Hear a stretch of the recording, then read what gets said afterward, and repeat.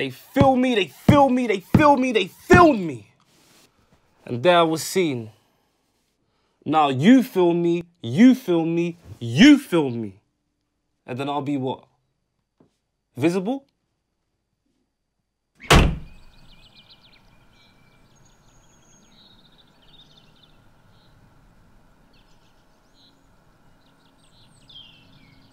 I think this this is the first retrospective because the way you've worked before is uh, usually through new productions that you present on their own, and so you, the exhibition of your work tends to be about one project that is also contained in a, in a very specific architecture. Actually, maybe it's, there is a reason that we could talk about, which is that the work itself doesn't ask for a retrospective of the artist you know, the work itself. Uh, that's how I perceived, for instance, the show at Witte de With two years ago, mm -hmm. where we were, it was a Cinema Olanda platform, a part of the Cinema Olanda pavilion, but as a platform to speak about the things that I was bringing up in the pavilion as a, you know, national issues that we needed to speak about at home, meaning in the territory of the Netherlands itself. That means it has a function, a particular function as an exhibition, rather than looking at the artist as something to study, which you know, I think that is what the retrospective maybe means.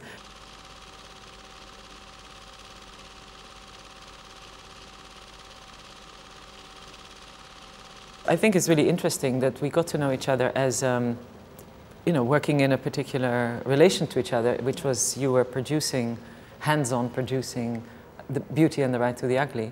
And in that role, we got to know each other as I found anyway that the collaboration was very um, fruitful and very nourishing because the quality was in understanding the practice as an open practice and being able to both intellectually and practically react to that and help mm. to give that space. And the step to come from that relationship of producing a film to making an exhibition was kind of, I think it was interesting making this also into kind of a productive effort. For me, the, the memory of that shoot is that I, as I was working in a producer, so curatorial because we began writing, from that position I was very surprised that I felt very much like I was organizing some sort of um, celebration or event, mm. that the protocols that we were using to work and address people were at once those of the production of a film and those of the organization of a some sort of event. Like there was a lot of hospitality yeah, involved. Yeah. And I think this stayed with me. Uh, it made a strong impression in me, and I think it has informed the way in which we've I've thought about the show.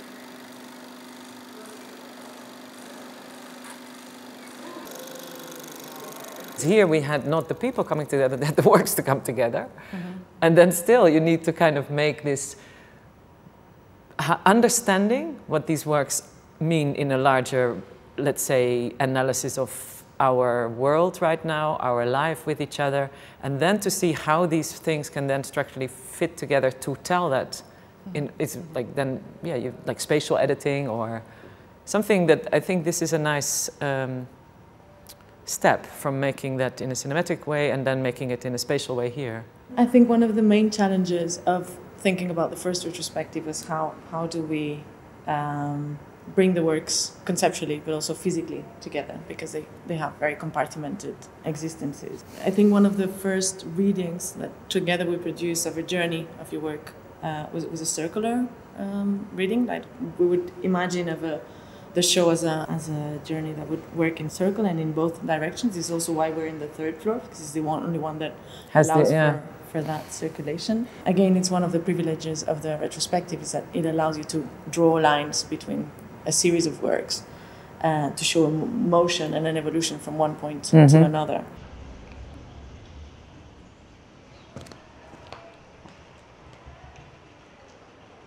Desce, desce, desce, desce, desce, desce, desce, desce.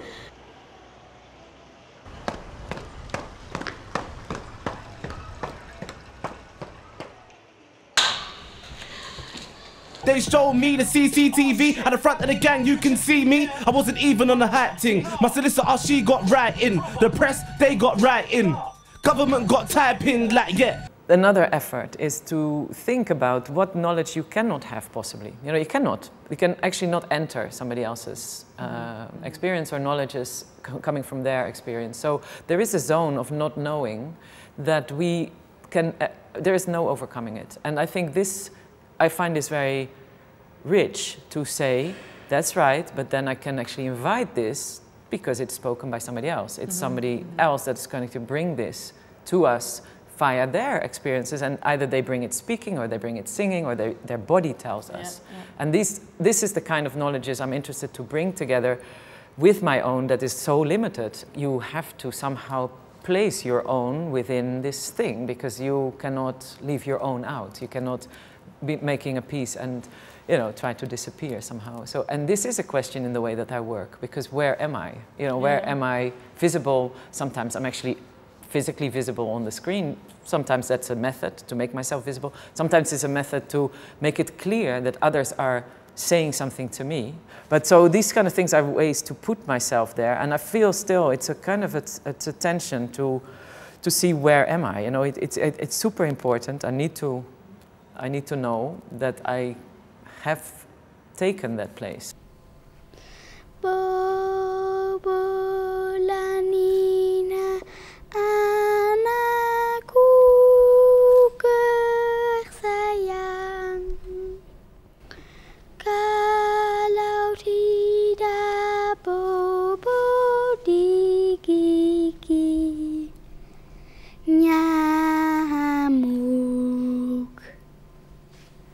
I think when, when we when we thought about the title Tono Lengua Boca, um, it was a way for us to avoid the word voice, um, and we we wanted to convey this idea of voice uh, from that which would be the elements that configure it. So a voice would be made of a tone, a tongue, and a and a mouth, and it was in juxtaposing those three words. You also um, this gesture of disassembling. Yeah, yeah.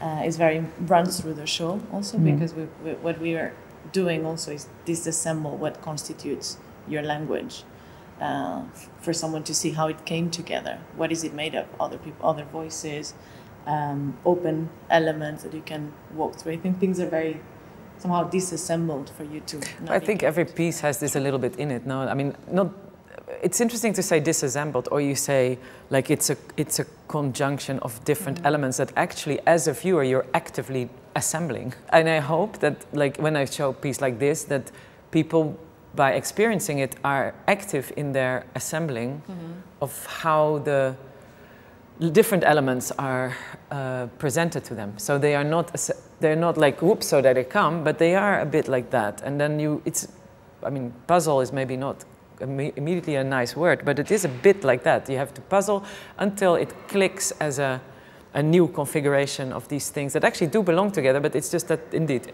like the tono lengua boca, they belong together, but they are apart to be actively understood as, as okay, they together make something that is bigger than if you just say one thing. Mm -hmm. If you just say, yeah, voice, for instance.